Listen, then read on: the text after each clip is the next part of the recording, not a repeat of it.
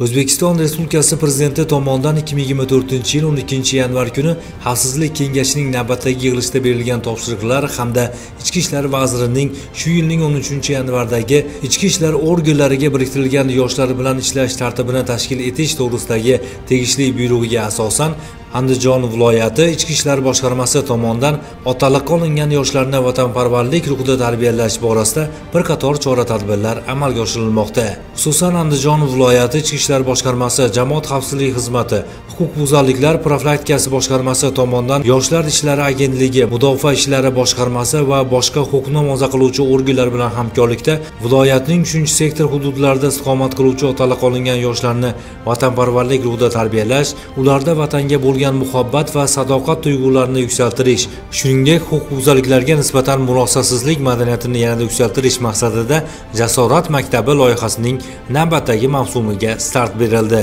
Loyihaning ilk kunida 100 nafar ishtirokchilar andijon shahridagi harbiy qismda kutib olinib tibbiy ko'rikdan o'tkazildi. Ularga harbiy kiyim bosh berilib jasorat maktabining tartib qoidalari tushuntirildi. 12 avgustdan 22 avgustga qadar davom etadigan 10 kunlik harbiy sog'lomlashtirish oromgohida 100 nafar yoshlar uchun maxsus dastur asosida loyiha va mashg'ulotlar harbiy bilim va ko'nikmalar berish rejalashtirilgan. Andijon viloyati ichki ishlar boshqarmasi tomonidan otaliq qolingan yoshlar bilan olib borilayotgan bu kabi tadbirlardan ko'zlangan asosiy maqsad ularni harbiy vatanparvarlik ruhida tarbiyalash va kasb hunarga o'qitish hamda malakali kadrlar bo'lib yetishishlariga ko'maklashishdan iboratdir.